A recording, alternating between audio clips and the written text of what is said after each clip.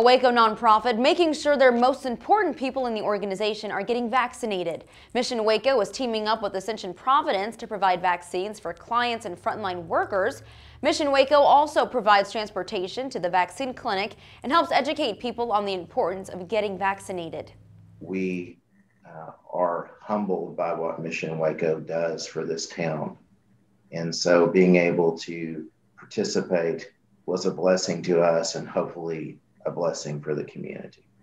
So far, more than 200 clients and staff at Mission Waco were given vaccinations.